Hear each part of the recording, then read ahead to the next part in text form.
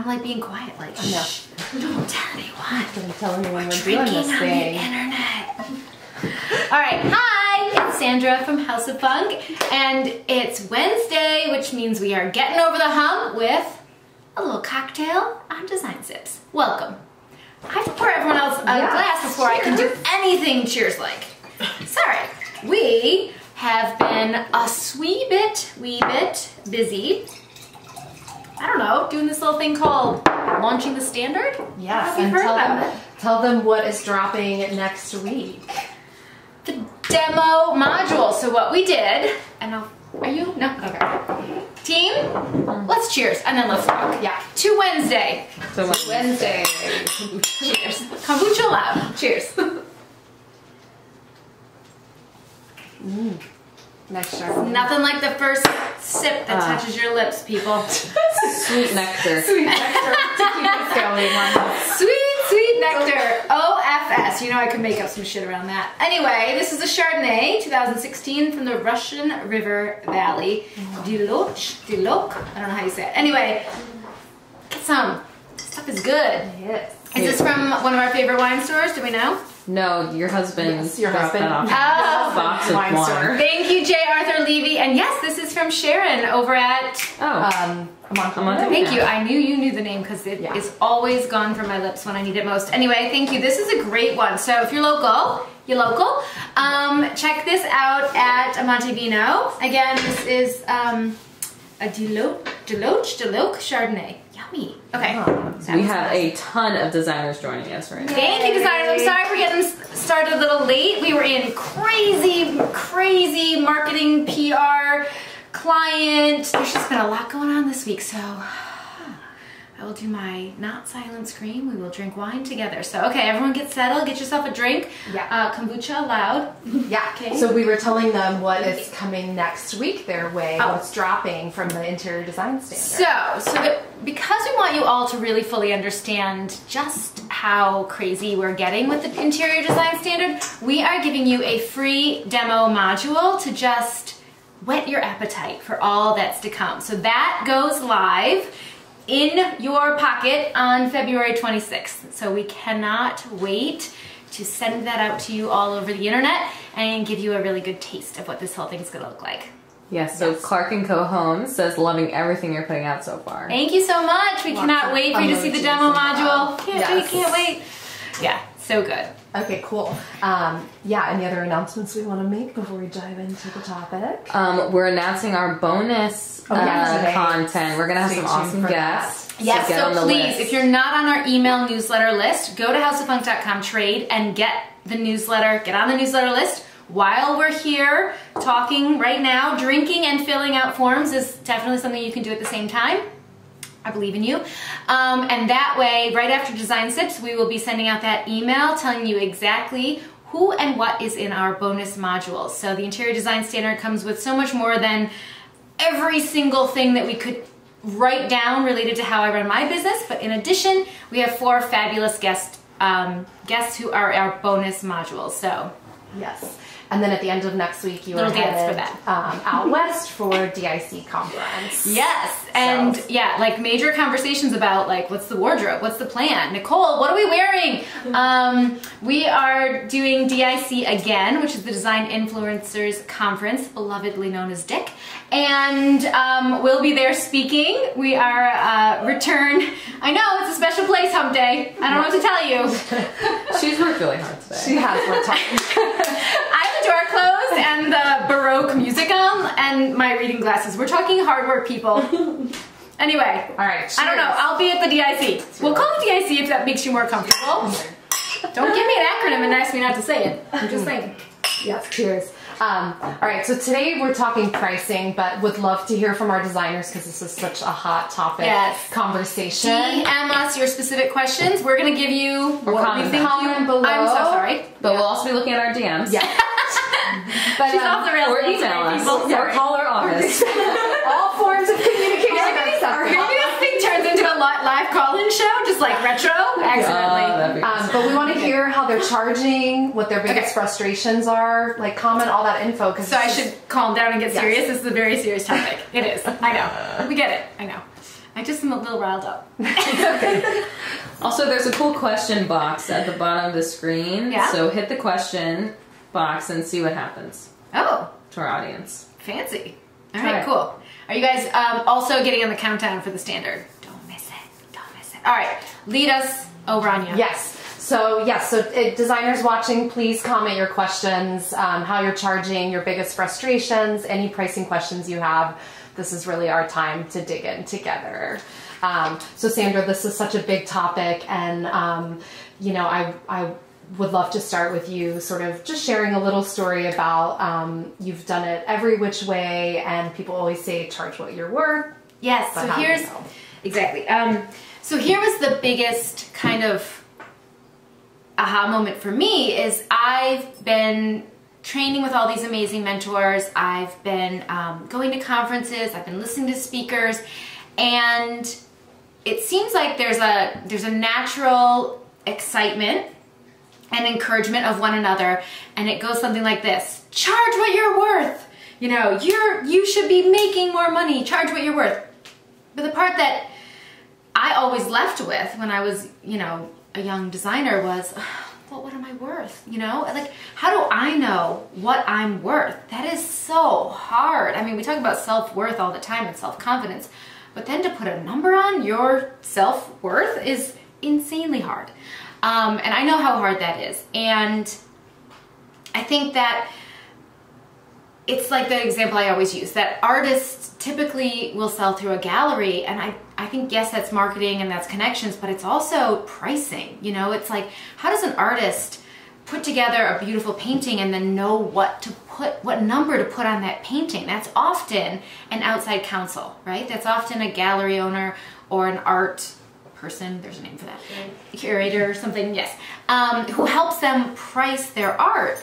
But how do we price our art right? Because i was just working on some content today um, and talking about interior design is a commodity and a commodity is a good or service that is seen as relatively equal in the marketplace so what that means is that every designer provides approximately the same value to a client well that's just not true that's like saying Picasso and my five year old back in the day were of the same value because they took the same amount of time on a painting. It's not a commodity. Interior design is as much, much closer to art than it is to flour or eggs, right?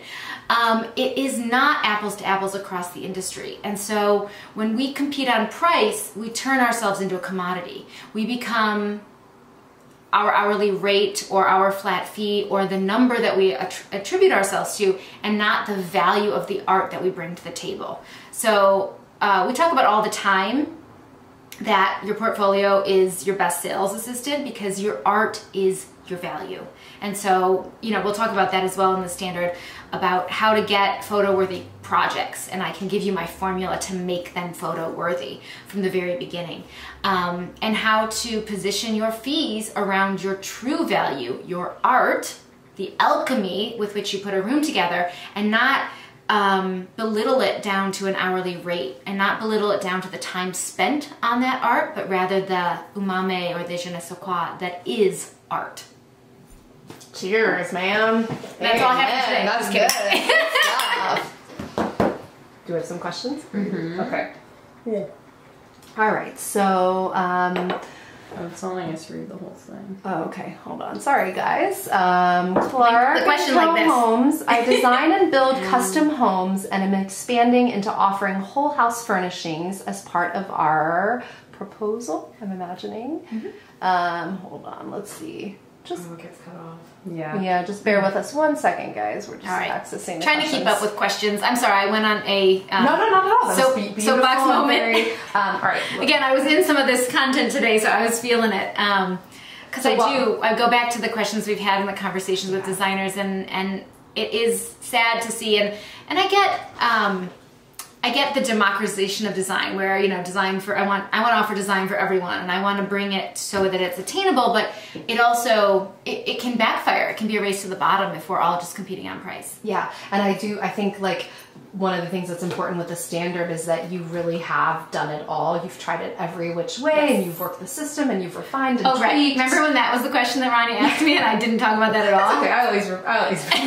She's like, reeling it in, reeling it in. Yes, so so I can speak to that for sure. So I worked for multiple designers and also worked in the D&D, um, the Design and Decoration Building in New York City as a salesperson while I was in design school at Parsons in New York City. And by that, I found I really was exposed to all these different business models. It was a very high-end luxury showroom, and so we understood just because we were in contact with designers how different every one of them was doing it. This person would send their client to us, and we would we would include the markup in our price that we would show them, and then this other client knew the 510 code, and they were just going to help themselves to the net pricing, and like every, and one person said, "Oh, I just sell it to them at cost. I, you know, I charge this big design fee up front." So like we saw all of that at and just how different everyone does it.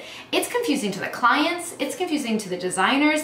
It's confused who are trying to figure out the best structure, and it's certainly confusing to the trades who are trying to, you know, respect your privacy and your business model and how you do it.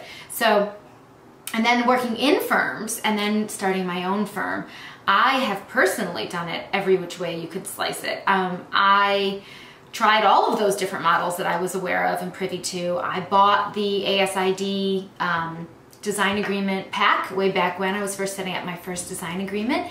And it had i think four or five different ways in that pack that you could structure your design agreement. So right out of the gate, I thought I was like, you know, making that big purchase, making that investment in myself, and fast tracking ahead. I was left with more questions than answers because I had four or five different design agreements to choose from, and I felt even more confused on which model's right for me and how do I know which model to use. There weren't any pointers as far as that was concerned. So I tried them all. Yeah. And I now have the data to back it up that I don't I no longer subscribe to, well, we all do it different and that's okay. I now believe there is a best way. And that is what um, the standard is all about. It's, it's showing you a, the best way, the way that I do it now, which is proven, tracked, and guaranteed to work. Yeah, and you have a line that I love, which is like it took you, you know, years in business to come to the structure that you love, but they shouldn't have to go through all of that struggle. And Exactly. You know. So my idea, you know, we talk about this all the time as well. I believe in abundance. I don't believe that sharing with you the shortcut to the best way instead of you having to go through all the different iterations. I don't believe that that diminishes my light whatsoever. I I personally truly believe that if all designers run a more efficient and profitable and joyful business, that the entire industry will become better at their job. They'll be better compensated. They'll be more respected. We'll be able to produce better interior design. We'll be able to increase our communication. We'll be able to increase our efficiency. I just think it's a win win for the entire industry.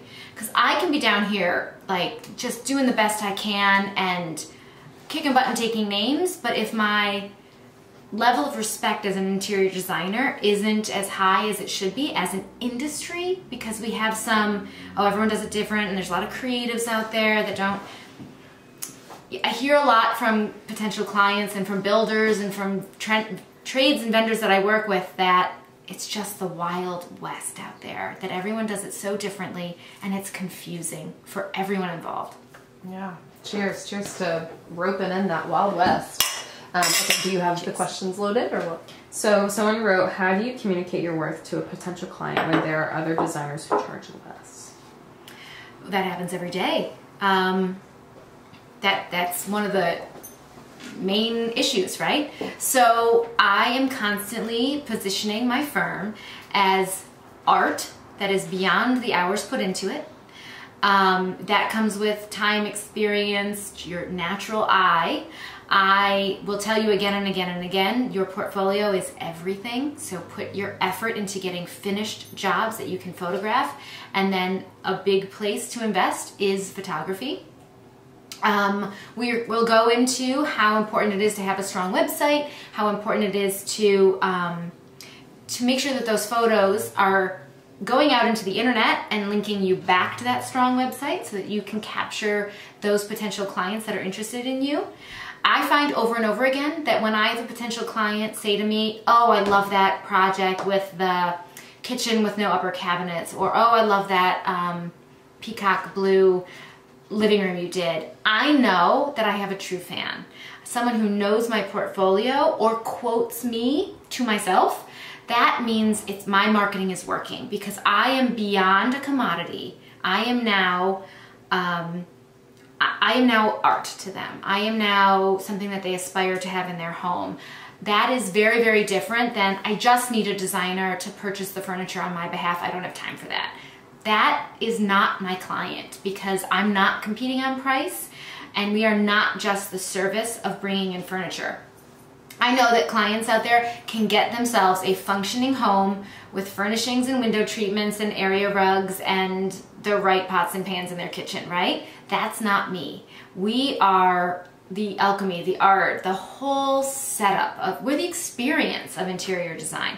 And a big part of that is the processes and the standards behind it that take us from initial meeting to completed home with clear communication, timelines, investment estimates met. We're not, you know, we're, we're really pulling the entire thing through on a level of customer service that creates an experience that we i mean we are just knock on everything we have this amazing core of clients that just keep coming back and keep coming back mm-hmm. and that's a testament to the procedures and the processes and the customer service yeah. that we provide and the art cheers to my team cheers cheers yes Captain. Cheers to that. Captain.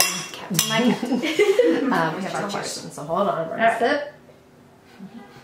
Okay, Clark and Co Homes. I design and build custom homes and am expanding my proposal to include whole house furnishings. How can I determine a reasonable budget proportionate to the home cost? Yes. All right. So that is so important and so um, so data driven in my opinion, right? So what I did was I took 10 years of data. I'll back up real quick in case you don't know me. Finance degree, business process background. So I came into interior design as a numbers girl. So I was always keeping track of all my square feet, my per square foot cost, my per square foot design time. All of that data is there. I refer to it today to provide a flat fee for a, a, a design client.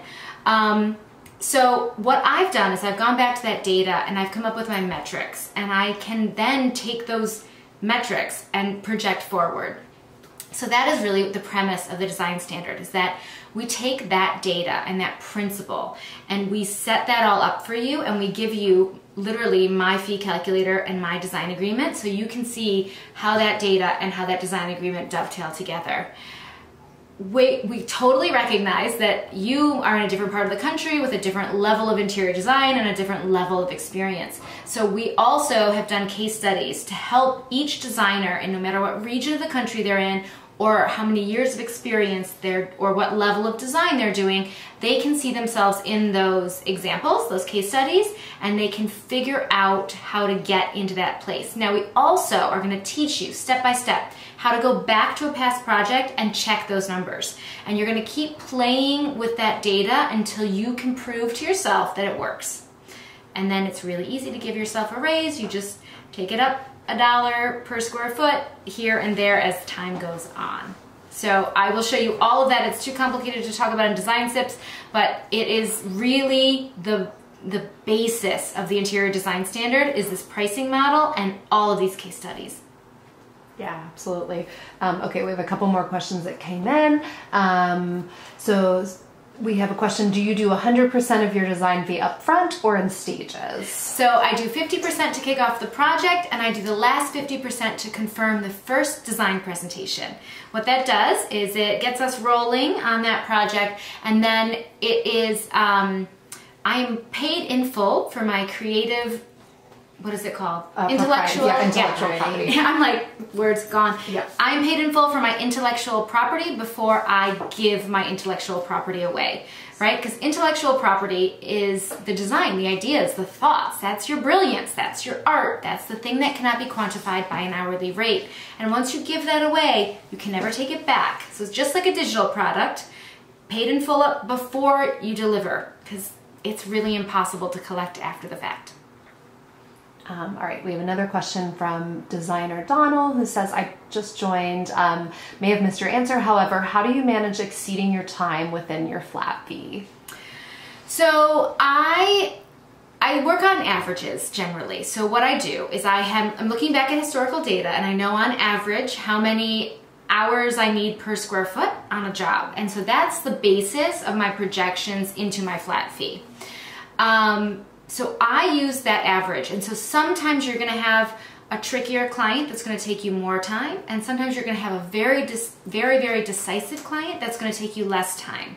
So you need to be able to roll with the averages. You cannot get obsessed with the one client that's taking more time. You need to continue to track your data, you need to continue to run your numbers, you need to continue to update where you sit, but you need to be able to roll with it all comes out in the wash. It's like going to dinner with your best friend for 40 years. Split the bill. Stop being a stickler. It'll all come out in the wash. Unless they always order steak and lobster and you don't drink wine, and then you should talk. we ain't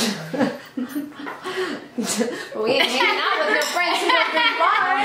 No, and then if they don't drink wine and they don't want to pay the bill, send them home. Send what are they home. doing out to dinner with you? Rude. No, just no. Um, one of our new awesome clients just joined, so glad to see you here and cheers to working together. Oh, to working together. God. So cheers. excited. We are so thrilled. What an exciting day. Thank you. Yes. Yeah. And thank you for your questions. We love them. Keep them coming. Indeed. Um, all right, I have another um, great talking point, Sandra, that you always talk about, which is why flat fee does work. Um, one of the starting points is that it sound it sets boundaries yes. with the round of revisions. Um, tell me about that. Yeah, so uh, we talked about this before, but I'll say it again because I know live in, live uh, feeds are pop in, pop out. So flat fee works so well for me because number one, we discuss that fee up front, we talk about it once, we make a decision to move forward, and then it's over. we don't spend the rest of this project billing, billing, billing, billing, billing, billing. I have found that my clients would much prefer to have complete knowledge of what I'm going to cost up front, make a decision yes or no, and then not keep talking about that every two weeks, which is how often I used to do time bills. Also, it allows me to give such better customer service to my clients. If I feel I need to stop in on site to check in on something, if I want to have three extra phone calls with the contractor, if I want to sample three more wall colors because I don't think we've quite nailed it, that's on me to go ahead and do. When I was running an hourly rate, I always felt like I was needing to ask, is that okay if we sample another? Is it okay if I check in? Or I was running up their bill unnecessarily. Now I do it once, do it right, and I can provide that level of customer service. It also allows me to build a deeper relationship with my client. I'm not sitting there on the clock as I'm asking them, how was your week? How was your vacation? What's going on now? I hated feeling like they thought I was trying to run up a bill. And then the last one is, how we create boundaries is we're very clear on our scope, we're very clear on our process, we're very clear on our timeline, and we're very clear on how we handle revisions. So we include one round of revisions per design presentation. And what that means to me, one round, is that I will go back to the drawing board. If you need me to start over again, and I have done it back in the day when I didn't have my process locked down, I have done it. Um, I will start over if I need to, but I need to do that in one round. So that means I give the clients a week in our schedule. If they need more time, they just need to then know that the whole schedule gets pushed out. One week to give me back their communication on what revisions they want to see. Once I have that, we go back in, we do our revisions and edits, and we have another presentation scheduled. It's typically two weeks after I get their input. If we need more time because it's that you know, if their revisions are too large, we'll start to reschedule. But that really helps me understand that it helps them understand that they don't have constraints on how many revisions, it's just one round of revisions. And it, I feel if I'm going back in to do revisions, it doesn't matter how many, I just really need to know the full picture of what needs to be revised from the very beginning. Okay, cool. That was a lot. But anyway, um, we have a couple more questions. Also, my friend Ashley from Oregon is watching. Hi, Ashley. Just Hello, Oregon. Um, okay. Do you, and guys, a reminder that the question box next to the comment thing actually doesn't work. it's cutting off your questions. Oh, they're cutting see. off, so we can only see bits So of the please comment, Comment them. questions. Um, I know Can we see that pricing questions are often not super short, so yeah, go ahead and comment questions Yeah. instead. So who's so Danielle? Can you comment your question right now about the contractors? I'd love to see that. And, and then who else is um, chatting us? Okay, Kate comment, and then yeah, Danielle just had Danielle. questions. Okay, so Danielle, comment your question. Are good. Um, Okay, hold on. All right, great. Well, while we're waiting for your questions to come up, um, we had another question um, a while back that I thought was interesting to address, which is a, someone asked us. Um, I understand and believe, believe in flat fee, um, but I'm finding lots of potential clients that don't fit into this category. If someone, whether it's a friend or you know someone you don't know, calls with a smaller project, am I offering packages? So uh, I truly believe that if you feel compelled to do a job that's smaller than your normal, number one, be prepared to take a loss because the overhead involved in running a project, um, managing a new client, onboarding them, setting them up in your systems, getting everyone on board in your team, even if it's just a team of one, just that whole process has a certain amount of overhead to it. And so if you're going to take a project that's below your ideal project, which I'll help you determine and set in the standard, it just accept that it's going to be a loss. So that, you know, I joke with my family. This is my favorite line. I'm like, listen, if I'm in the will and I'm inheriting the house, free design. Let's do it. Like, sign me up. Let's get that thing beautiful and at top Yeah. value. If I'm not in the will, I need to treat you like I would treat every other client. I can't run my firm into the ground to help a cousin or to help a friend. I can't do it. And I would do it because luckily I'm blessed with a big family. Um, so my joke is like parents and siblings and maybe that one aunt, hey Sue, that um has me in there as a uh, you know on the list to inherit. Yeah, let's do this thing. Let's get that house top dollar. But everyone else, you really need to accept that you will take a loss on a job that is not outside of your of your stated realm.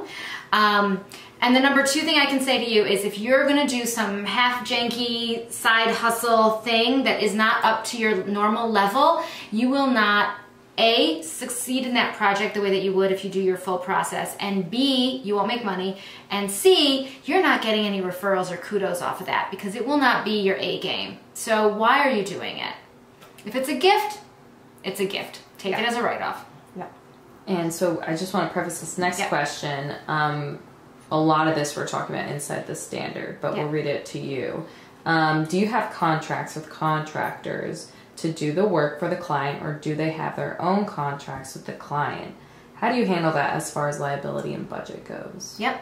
So we do it both ways because there are times when we are hired after the contractor has been hired, and there's times that we are hired before the contractor's been hired.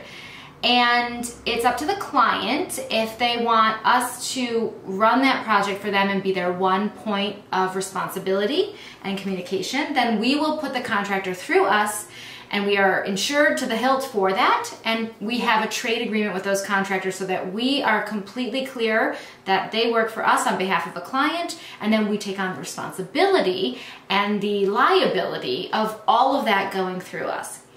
Some states don't allow that.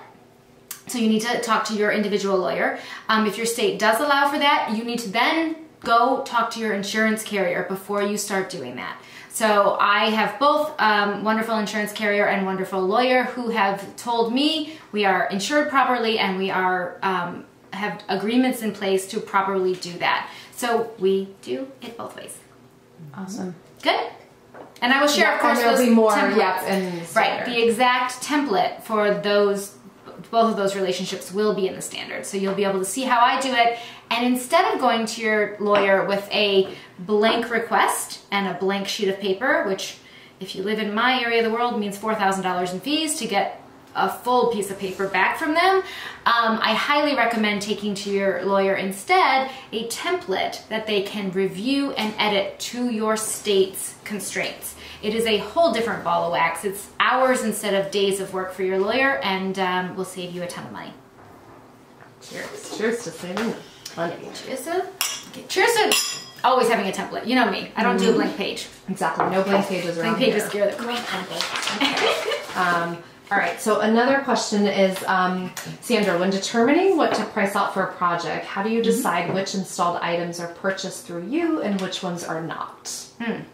So we identify that up front. And again, that comes down to the same question. Is there an architect, a builder already on the project? Am I the first man on the job and I'm bringing, I'm building it and bringing the team of the architect and the builder? So, you know, because there might be an architect who's bringing me in who already has preconceived ideas or a builder or what have you. So we will dovetail and figure that out, but that's something important to figure out from the very beginning when you're in pricing mode because you will be offsetting your design fees accordingly. So if you don't have the contractor going through you and you're not doing project management on this job, you will need to offset your design fee accordingly.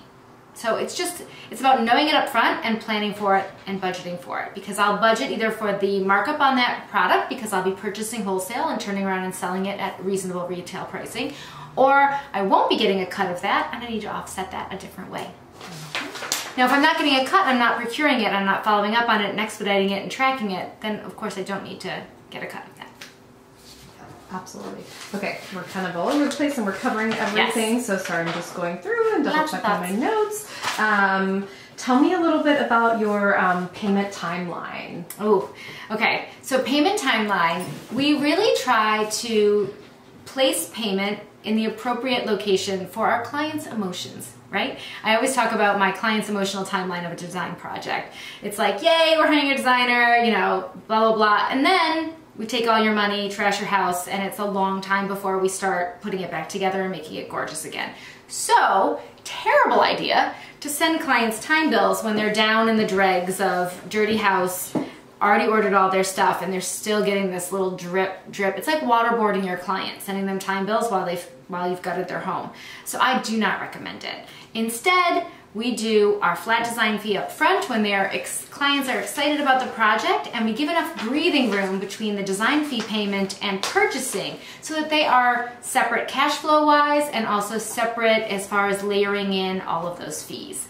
We take 100% upfront on product purchases with tax and freight included, 50% on labor or construction, and then that balance due is two weeks prior to scheduled completion of the job. Scheduled completion, not actual completion, because we need time to process that payment, receive that payment in our bank account, turn around and cut those checks and get all of our vendors paid. That gives us time to do our punch list and get everything finalized and also wrap up the job succinctly without dangling payments due, which obviously can turn into a nightmare. I don't believe in AR. I have other things to do. Yep. I know that was good, man. You were like Cheers rolling with it. I memorized that. There's a script. There's a script. There's a prompter. Such a visual. There's no I'm trying to prompter. This is all Um, just off the top of my wine induced head. Um, another designer asked what are your thoughts on flat fee and commissions, which kind of goes along with your business model and maybe what you would say to a client if they ask. Yes. So the simple truth of it is our business is based on both a flat design fee up front and all purchasing and execution going through our firm. Memorize that. It is your keys to the castle. Yep. It's as cl- it's literally as clean as that. That's it. It's the bottom line truth. Yeah. It's how we do it. It's our business model. Um, it's how we do it. It's a business. Um, Um, so then Yeah. Danielle also asked, will there be examples of trade agreements with contractors and the suggested agreement amount in the standard? Yes, all of it. Yes, You will have everything. exactly how I do it, and you they'll all be editable documents. They are not PDFs that you have to sit down and retype and rethink. They will be PDF for pretty, but we'll also give you swipe files so you can take that content and you can put your details right into it. You can send it right off to your lawyer, make those edits, and um, adjust according to your local needs. She's in Jersey. Woohoo! Jersey. She's local. You local? local? You local? Cheers. Um, all right, another talking point. We talked a little bit about it earlier, but tell me why you um, call it the investment estimate instead Oh, yeah. of the dirty word. I kind of regret it, but not really. So instead of the word budget, we use the word furnishings investment estimate. That's not one word, that's Yeah, three. words. And they're not little ones. but on film days, I'm like, furnish. It's like, again, again. Um, FIE. F-I-E. That's right. So, furnishings investment estimate instead of budget, and here's why. An investment estimate is an estimate of what they plan to invest in their home. It is it is powerful, it is action, it is um, decisive, right? Budget is constraining, it's small, it's a big dirty word, right? I mean, when you hear budgets, budget cuts, we're over budget, like, it's all sorts of negative. And I want to give positive flow to this is a choice that they are making. This is 100% not an obligation. Do you want to invest money into your home to make your life better? Okay, that's your choice. The power is entirely in my client's hand to make an investment in the quality of their life. No constraints here. Damn, girl. Just so good today, man. I'm like massively overheating. Do we have like, is the heat on 80? no? the AC Um, is on. The AC is on both. No, it's on. You can turn that down. Not flash. No? And talk to me about how your investment estimate is based on historic averages and then showing your clients that in advance ensures that you're in the same stratosphere. Yes, so not only do we base our flat design fee off of historical data, I also base my historical investment estimate on historical data. So many words. Anyway, what I'm trying to say is at the beginning of a project, I throw out average numbers that House of Funk clients in the past have spent on home on homes or rooms of my client size and furnishing level. That helps my client and I know if we are in the same stratosphere. I always joke, I could liken it to a sandbox. Are we do we belong in the same sandbox? Are you and I speaking the same language investment wise, right? If I think it's going to take $50,000 to complete your room and you think it's going to take $5,000 to complete your room, don't you want to know that right at the beginning of the project? This would be terrible information to find out eight months in. When it's time to purchase, you've done so much design work, you spent so much time, and all of a sudden, like I found out, I had a sofa pitch that was too expensive for the client's taste, right? This, there is a better way, and I will show you exactly how and when to get buy-in from your client on how much they want to invest in their home, and to understand if that doesn't work for your business, then you must say, I'm sorry, this isn't the right fit. Thank you so much for reaching out. Like, you gotta get a set of big girl panties and you gotta strap those things on and you gotta say, no, thank you, when it doesn't work for you.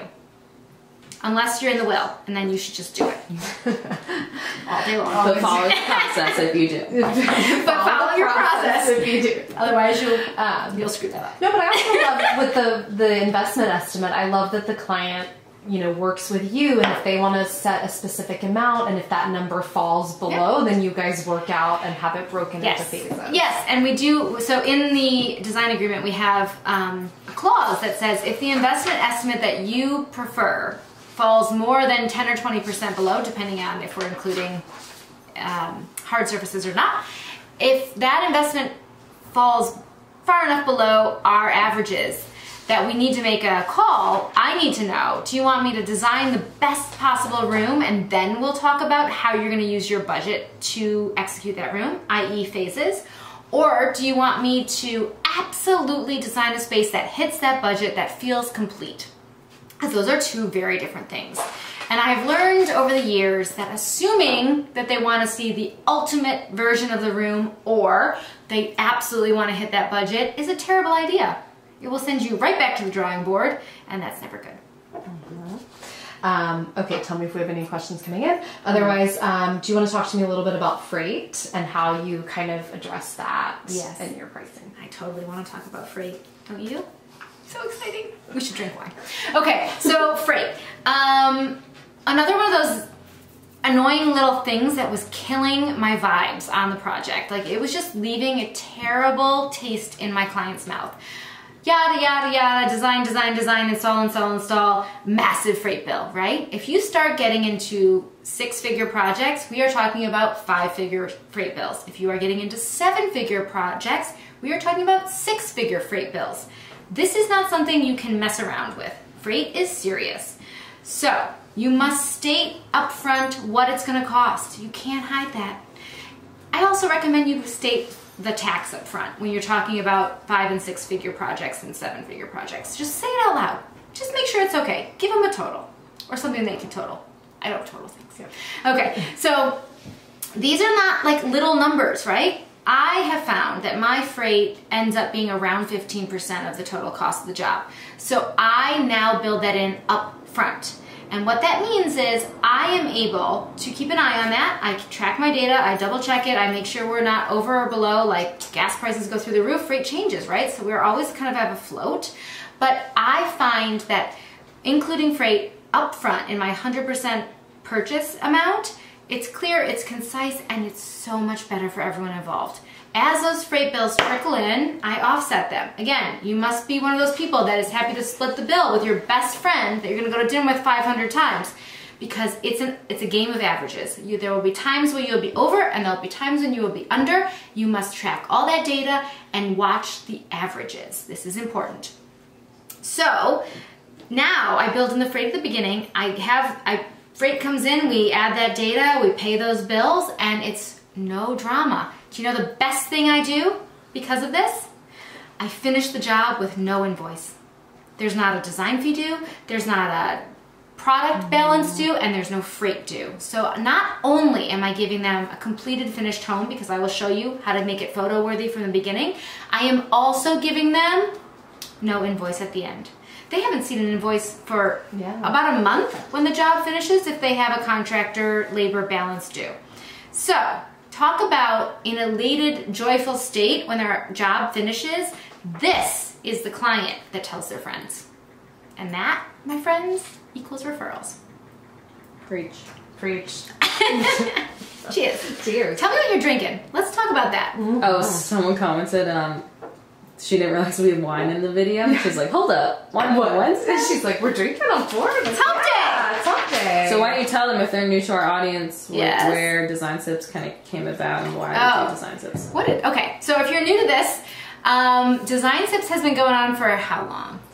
Two years? Yeah, think two two. years, yep. Okay, two years. And I remember when we first started this, it was literally like, we should do video. We should do video. And I was like, uh huh, yeah, sure. Uh huh, yeah, we'll do video. hmm yep. Like I yes my children. Like, mom, we should go ice skating with a broken ankle. Just saying. That happened yesterday.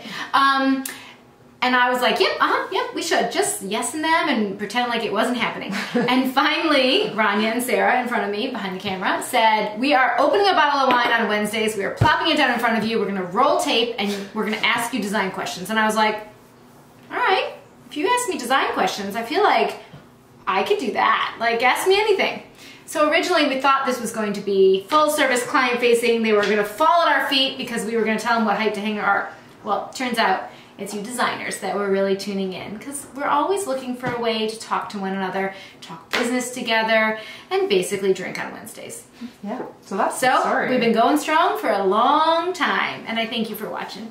Yes. Um, all right. So we have a, hold on a couple more questions on the subject of photo worthy. Yes. Um, how do you handle situations with clients when they opt out of important pieces in the design that will um, sabotage the photo worthy results? So this happens. I know it's real. Um, I propose complete rooms, not individual items. So I try really hard to give proposals that are the entire space, art, accessories, throw pillows, and I will tell you again, I will pick out your teaspoons if you let me. So I really try, we really try to do complete spaces and we try, all of our positioning client facing is that it's a complete and total vision. The art is not separate of the, from the room. The pillows and accessories are certainly not separate from the room. They are the jewelry that makes the outfit, right? So explaining that from the very beginning, budgeting from, investment estimating that from the very beginning. Good catch. dirty word. Um, all of this is about mindset. It's about I'm going to finish this project with a complete room. I am not going to finish this project with then art and accessories to complete. So that's number one. Number two, when the client just won't do it. They want to go find their own art. They are an art collector, which we love, and we absolutely value art collector clients. And we obviously don't want to fill their home with art that they have. You know, if they're really an art collector, yes, we have finally scored the art collector client. We do not want to take that away from them. Then we are we are giving them ideal sizes. We are getting from them tone and look so that we can grow with them over time. We're creating more neutral spaces to be open to what comes. Um, and we are trying to help curate as they grow that collection. Our, our projects are 8 to 18 months, and so naturally our client, if they are an art collector, will come into a few pieces while we're in the project. When art gets pulled, because art is so emotional. It and is. art's the kind of thing that you know it when you don't like it, but you don't know what you want until you see it, right? So there have been times when instead of the never-ending cycle of showing someone art. You just decide this person needs black and white photography, and if that won't even work, then what we do is we bring in art for the photo shoot. Yeah. Say, Livy? Of course it's for sale if they want to buy it. Once it's in the house, Yeah. they usually like it. They do. I was gonna say that's a really good tactic too Yeah. as well. So get with your local showroom, furniture store, art dealer, gallery, um, whatever it is. Make those relationships. Have accessories and art at your fingertips so that at the end of a job, if you need to bring something in or even just want to add that last final layer, go ahead and do that. Um, we had another question. How do you handle clients that take a long time to pay? Any ways to sort of This one is so easy with our structure. If you don't pay, we don't do anything. And when you pay, we jump into action. It's like incredible. It's like batteries to my little drummer boy. You put in the batteries and I start working away. You don't put in batteries, I'll find something else to do. You'll see our payment structure is set up so that a payment kicks off action every single time. There's never a situation where I'm running around looking for a balance due. The only balance due that we have, right, is half of that construction budget. And it's funny, would I stop construction if I'm not paid? Yeah, I would. Because that's business. And while I love my clients and I build a relationship, that's business. So, yes. And trust me, back in the day when I didn't have this all locked down, I had a balance due on furnishings, which is why I never will again. I sat on the lift gate of a truck and waited for a check. Like me, the boys, the delivery men, we all just sat there. I was like, I'll take a check or we're rolling this truck out of here. A whole truck full of furniture. Sometimes you gotta be a business badass, people. It's true. Yep.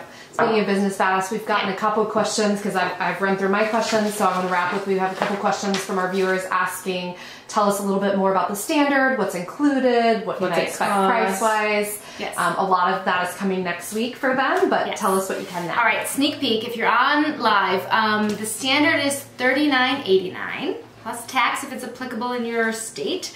Um, and it is everything I could possibly write down on how I run my business. If if it is a repeatable process or a document that we have drafted, I am giving it to you. It is seven modules. Um, I think our module list is coming out in an email shortly. Um, our, plus the four bonuses, plus my own personal bonus content to you. Um, I'm going to be available for three live VIP calls if you purchase in the first round when we open um, purchasing. Um, it is honestly, I just want my entire industry to like take a big step up. So it is every single thing that I could possibly give you on how to run a rocking, joyful, and profitable interior design business. We are holding nothing back. Yeah. We And we're giving templates that they can fill out. I mean, we're taking the guesswork swipe out files, templates, PDFs, full everything, every it's every contract. My design fee calculator, it's every process, it's every email template, it's my entire potential client process, it's my entire project process. Like it's my financial documents, it's my budgeting spreadsheet, it's every single thing that I have written down for you. Um, there is no follow-up product. There is no next layer. There is no upgrade. We are giving you the keys to the castle. There is one thing. I still want to run a design firm. I still want to be present for my clients. So it is everything. There's nothing held back. Yeah. And it's Cheers. coming very, very soon. It's coming very soon. Cheers to that, and cheers to all of you guys. Thank you for your Yes, questions. thank you so much. Sorry for being so fired up today. No, keep my cheeks keep, quite them, keep them coming. keep chatting with us. Yes, please DM, comment, email, call. You can find us at houseoffunk.com slash trade. I'm Sandra Funk. This has been a fabulous Wednesday of Design Sips. See you soon. Cheers. See you soon. Cheers. Ooh. Spicy. totally. Yeah, we're good. Okay, we're good. Good? Yeah, Chris Bell, that guy, the photographer who wanted to, um, he reached out once before he just joined.